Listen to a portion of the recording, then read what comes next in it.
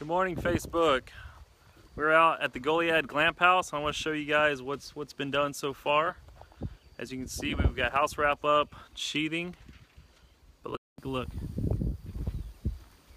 So as you can see, we use all DuPont Tyvek house wrap here.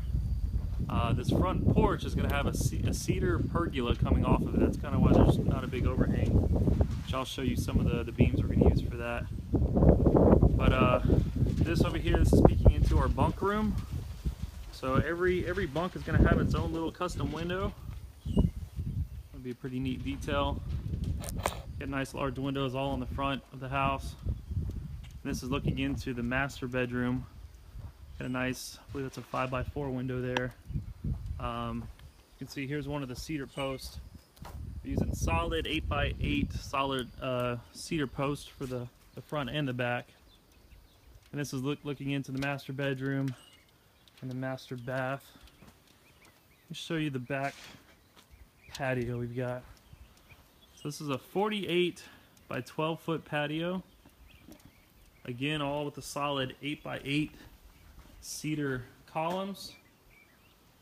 And a real neat detail, which you know, very common you see on on your columns. If you got you've got galvanized straps that come up on on either side, which you know are not the prettiest thing to look at.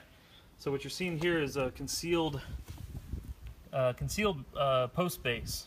So you've got a a metal post base here. What you do is you slice the side of your post and it actually the post will uh, slip onto it and then you've got three pins that you drive into the side to anchor it down so let's take a look at the back patio here this is going to be where the outdoor shower goes and uh, you know on this shower we, we, you know instead of having a drain uh, we took the drain out just to keep any critters and snakes from crawling up into your house but we put a little slope here that'll go off into the yard. So later on you'll see a, a shower head here in an enclosed area. But again, we've got windows, we've got a big eight foot tall sliding glass door that's gonna go here. And this window, best one in the house. So this is, is gonna be your view coming out of your kitchen. So this window here will look out all out this pasture here. So again, a little bit more of the, the patio. Let's take a look inside. So this is where the kitchen's gonna be. Again, you'll be looking out of this window. Cooking some food, serve it outside. And that's the view you've got here. Um, I wanted to show off a couple of the, the advanced framing from the inside as well as some, uh, some different building practices. So corners, your inside corners on your house on a standard home, let me show you these here. This corner here is usually stacked with 2x4s and, or 2x6s. So this wall, there's no way to put any insulation in here. So the California corner, as you can see, now the spray foam guy can come in here and spray this whole cavity of this, this entire wall. Another thing we did is our headers.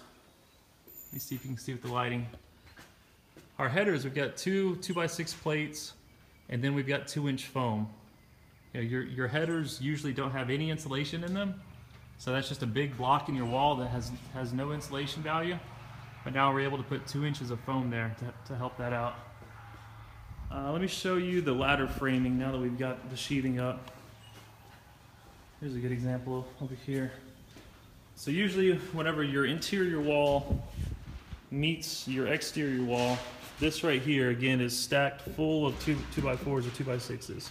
And there's no way to insulate this block. So by doing the ladder framing every 24 inches on center, again, the spray foam guy can get back here and insulate that entire wall cavity.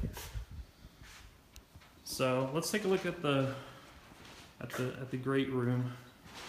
So we did vaulted ceilings, in this room.